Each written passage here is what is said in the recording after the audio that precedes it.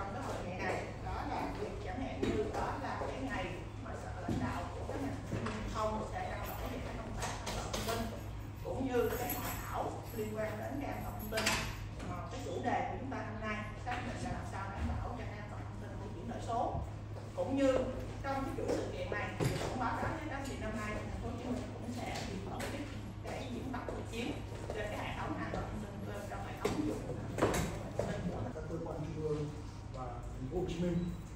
à, xin thay mặt cho ban tổ chức sự kiện chúng tôi nhiệt liệt chào đón và xin chân thành cảm ơn sự có mặt của tất cả các quý vị trong buổi họp báo ngày hôm nay. À, chị Trinh đã chia sẻ cùng với lại các anh chị về cái mục đích ý nghĩa của sự kiện tôi muốn bổ sung thêm cái hoạt động của an toàn thông tin ở khu vực phía Nam năm nay sau 2 năm 2 năm covid thì chúng ta lại có một cái dịp để mà tổ chức một cái sự kiện. Nó được uh, diễn ra một cách trực tiếp tại uh, không gian rất là mở. Uh, năm ngoái thì uh, trong cái hoàn cảnh covid thì chúng tôi có tổ chức một cái sự kiện đấy là online. Online thì năm nay chúng tôi kết hợp vừa kết hợp online và offline vừa kết hợp online. Và offline và đặc biệt năm nay thì có cái uh, hoạt động nó mang tính xuyên suốt đó là một chuỗi sự kiện. Thì uh, chị Trinh cũng đã chia sẻ. Cái sự kiện lớn nhất mà chúng tôi đặt cái tiêu đề là uh, an toàn thông tin của Việt Nam đấy là hội thảo và triển lãm quốc tế với một cái chủ đề là bảo vệ tài nguyên số và chiến lược an toàn an ninh mạng trước thách thức toàn cầu mới thì uh, trong cái thông cáo báo chí chúng tôi cũng đã nói rất là rõ cái mục đích ý nghĩa thực thực, thực tế ngày hôm nay. Uh, chúng ta đứng trước rất là nhiều cái thách thức trong suốt hai năm vừa qua chúng ta chứng kiến rất là nhiều những cái sự thay đổi à, về mặt à, à, trong lĩnh vực an ninh an toàn thông tin. Đó là gì? Đó là cái cái thảm họa covid. Rồi thời gian gần đây là cái cuộc chiến tranh là những cái điểm nóng ở trên cái địa chính trị. Và chính vì thế mà cái lĩnh vực an ninh an toàn thông tin nó đã có rất là nhiều những cái thay đổi và có rất nhiều những cái nó nó nó, nó đặc biệt nó khác. Thì chính vì thế cái chủ đề hôm nay chúng ta đặt ra một cái chủ đề nó cũng rất là cụ là bảo vệ cái tài nguyên số ờ, và chiến lược về an ninh an trước những thách thức toàn cầu mới thì chúng tôi là trong cái, ờ, cái, cái dịp này thì cũng chia sẻ rất là nhiều những cái góc nhìn của hiệp hội an toàn thông tin của triệu an toàn thông tin trước những cái tình hình vậy. Và trong chuỗi cái sự kiện thì lát nữa chúng tôi sẽ anh Trần Hữu Dũng là có ý kiến sẽ chia sẻ cụ thể hơn về cái ngày hội thảo về an toàn thông tin